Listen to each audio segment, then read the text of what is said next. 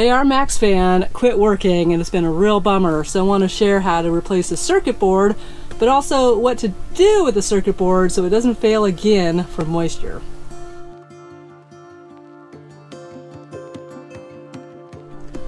Well, one of the things that happens with MaxxFans is they get a lot of moisture in them and those uh, circuit boards, motherboards are not protected. And so a lot of times they fail. And how they fail is you're going to hear a lot of beeping. And a lot of times it happens in the middle of the night. And you're like, oh my God, what do I do to get this beeping to start, to stop? Well, one of the things you can do is go over to your converter, pull the fuse.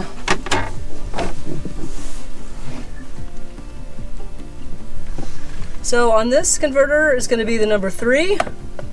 And I would pull that out and then put that back in and that actually might reset your MaxxFan. If your MaxxFan isn't working at all, you actually might want to just check the fuse to make sure that it hasn't blown. And in this case, you see the red light. Uh, so I know it's not the fuse or anything wrong with the motor as far as that because that red light would have been on already.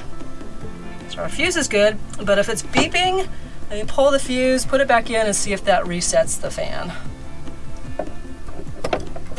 All right, if pulling the fuse doesn't work to reset your MaxxFan, then you can go ahead and turn your battery switch off and that may work. So turn your battery switch off and back on and see if that helps to reset your MaxxFan. So in our case, neither pulling the fuse nor turning off the battery power worked for us. And now I want to replace the circuit board. And in order to replace the circuit board, I'm going to turn off the power to the fan because you don't want power while you're working on one of your appliances. I've gone ahead and turned off the battery power. You can also pull the fuse so that you don't have power going to this. And the next step is to take off the four Robertson screws that keep the, the trim or the bezel in place.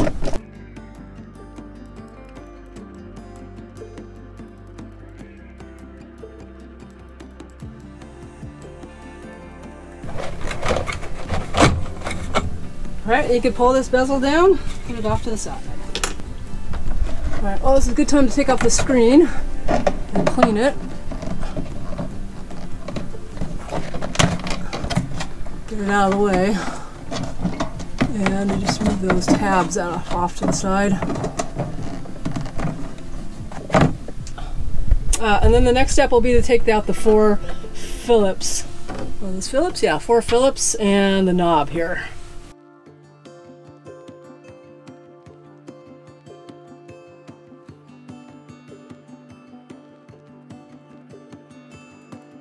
Screws out. So now I can pull this down and there is the circuit board right here. And uh, I'm gonna cut some of the zip ties. I'm holding these wires in place without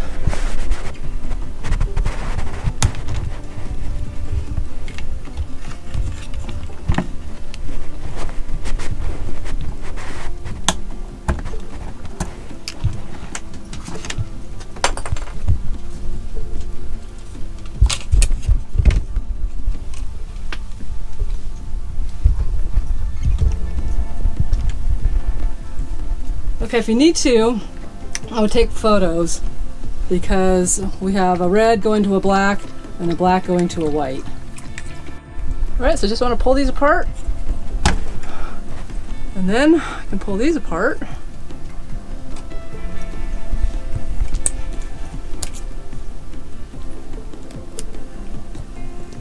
Oops, this one wants to be difficult. So in this case, this connector wouldn't come apart. So it just stripped right off the wire, but I do have another connector that I can use. All right, next step is to take out the three Phillips screws here.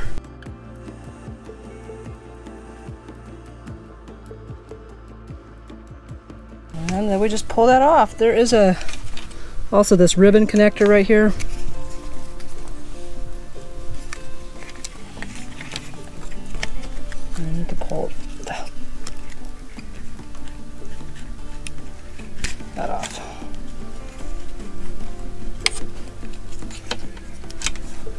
And then the temperature sensor, let me just pull that out too.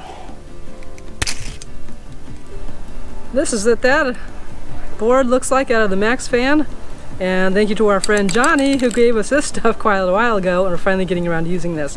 This is a seal coat clear urethane coating for electrical and electronic, uh, it's an electrical, electronic insulator. Okay, so I'm gonna spray this on this and it's gonna protect it from the moisture that builds up sometimes. But one of the first things you wanna do is cover up these pins right here because that's a connection point. So I'm gonna put some tape on that. And then you can also put some tape over these, although they're not gonna be used for anything, so it's not super critical. But these pins right here are definitely what you wanna cover.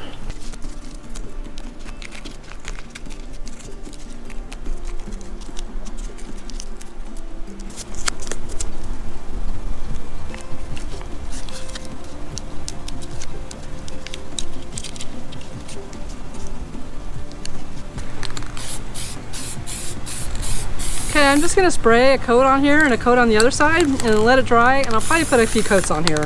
And that's all there is to it.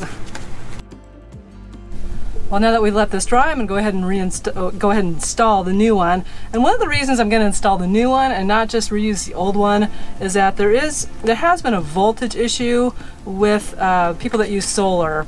And uh, if you want more information, you can look on the Escape forum. It's been uh, well documented. Uh, some people have added a voltage regulator to these, just a real small one that has helped. But uh, yeah, an overvoltage issue has has also uh, made these malfunction. So this is the new part, and this has been worked up so that it doesn't have that issue, supposedly. All right, so we're just gonna do everything in reverse. I'm gonna go ahead and hook this back up. Right way.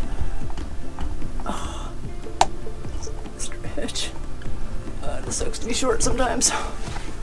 Ugh. Again, make sure those tight. And then I did get some new connectors because one of these was stuck on and I had to cut it off. And then they don't come with connectors. So our good friend Don from Don and John's RV Life had some of these Wagos. These are pretty cool. I'm going to get a bunch of these.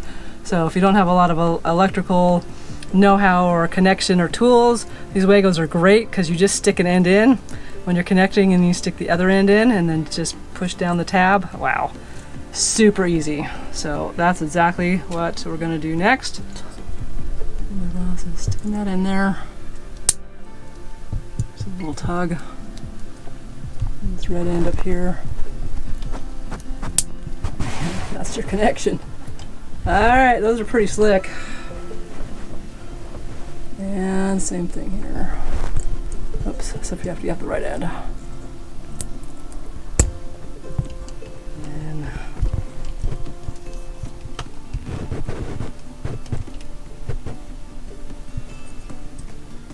then it goes in here. Okay. This one comes with a new temperature monitor because these have a a way of keeping this on to like will come on at 78 degrees. But don't yeah this is glued in there so don't really want to replace it. So I'm just gonna put this new one I put the old one back on the back side here. Alright so I have to put the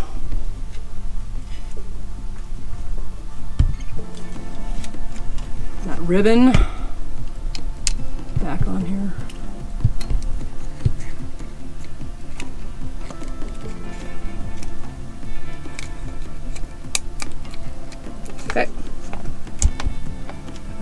I can go ahead and put the temperature thing on, but don't need to do that until we're ready to install it, but I guess I'll just go ahead.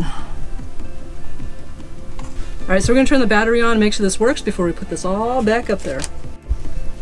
Woohoo! It works, we have a fan again, and we have a spare.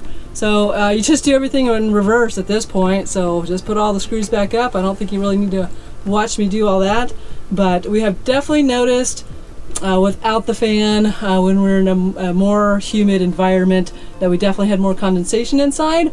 And now that we're in a climate that's pretty warm, it's uh, high 70s, low 80s during the day, having this fan is, would just be awesome. So yeah, we're super stoked to have our, our fan working again and to have really great connections. That'll be easy to pull on and pull off if you need to take care of this when it's beeping at night.